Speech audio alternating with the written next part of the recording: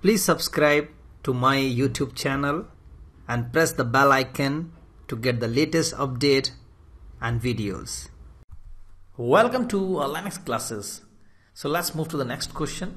Next question is to configure your system so that uh, your system would be the NTP client of this classroom.example.com. So classroom.example.com would be your NTP server and your server that is your server 9.example.com would be the NTP client. So how we can do that? It's very simple. Let me show you. So first of all in RHEL 7 the package for NTP is Chrony. It has been changed from NTP to Chrony. So it is already installed but in the exam it won't be installed so you have to use the same command and which can be used to install this package and after that you have to look for this file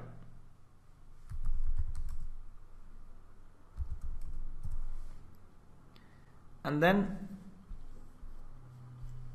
you have to you know put the entry for the your NTP servers. So you can see that a lot of you know servers are already there. So in the exam what you need to do simple you know put this server and classroom dot example dot com and i bus. So this is what you have to add. So anywhere you can add this line it's server not okay. So this is the entry you have to put it in this file and uh, after that you have to restart the service. System ctl restart.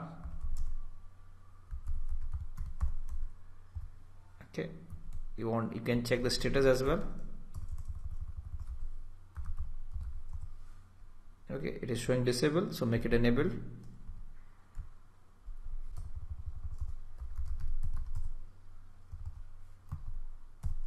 it has been enabled now. So this is what you have to do it. Okay. And uh, for verification you can check the verification as well. So for that we have command yc capital V. So this command you can use to check the reach level you can say that. So friend that's all for this lecture. Hope you have got an idea how we can configure the NTP client for your NTP server. So thanks for watching and if you have time please join with in the next lecture